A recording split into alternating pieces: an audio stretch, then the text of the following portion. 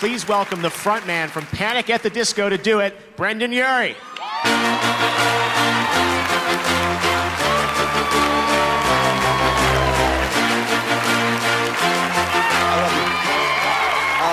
I, I just want to say what an honor it is to be here, first off. And secondly, uh, I have to apologize because I was supposed to write something last night, but I stayed up till 5 a.m. playing season 7 of Fortnite. So I apologize. Um, oh, wait, never mind. They wrote it for me. Okay. Personally, as a musician, I'm constantly amazed by the skills of the composers in this industry. They make tracks that elevate all the action and tension and set the perfect mood.